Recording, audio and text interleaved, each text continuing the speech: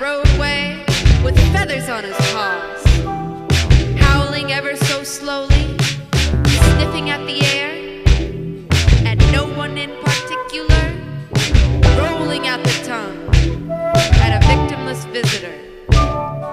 Why do the crickets sing to you with such butterscotch generosity from underneath those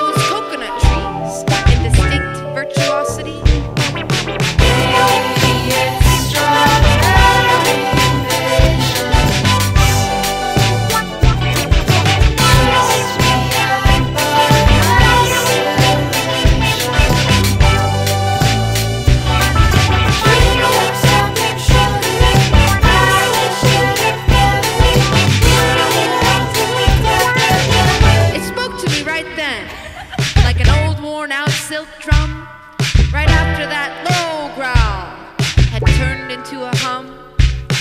And as it lay down, way back, far, far inside my mind, I heard a dry sound spinning from behind.